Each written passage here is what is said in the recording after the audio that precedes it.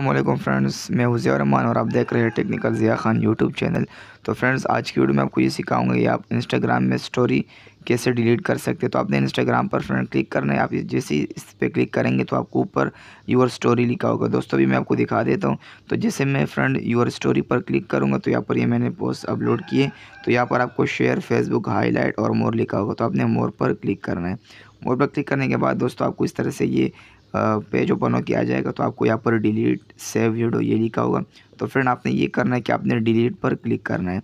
तो आप जैसे डिलीट पर क्लिक करेंगे तो आपको इस तरह से ये आ जाएगा। तो यहाँ पर लिखा हुआ है कि फ्रेंड डिलीट फ्रॉम बोथ या डिलीट फ्रॉम इंस्टाग्राम ओनली। तो यहाँ पर डिलीट फ्रॉम इंस्टाग्राम ओनली इस पर आप क्लिक करेंगे। इस पर क्लिक करने के बाद थोड़ी सी लोडिंग होगी दोस्तों। तो फिर आपने गो टू सेटिंग पर जाना है। ठीक है फ्रेंड?